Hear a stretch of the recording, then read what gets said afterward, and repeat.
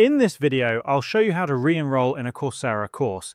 If you've previously unenrolled from a course and want to continue where you left off, the good news is that it's easy to re-enroll and regain access to your progress.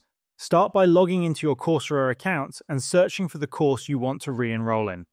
Open the course page and click on the Enroll for Free button, just as you did the first time. When you re-enroll using the same Coursera account, your previous progress will automatically be restored. For example, if you had completed 6% of a course before unenrolling, you'll see that 6% progress again once you re-enroll. However, if your progress doesn't appear after re-enrolling, it's likely that you used a different account when you first enrolled in the course.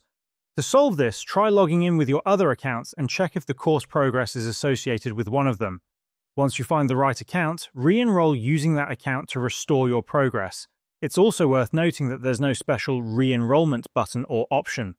You simply enroll in the course as you normally would, and Coursera's system will automatically detect your previous progress if you're using the same account.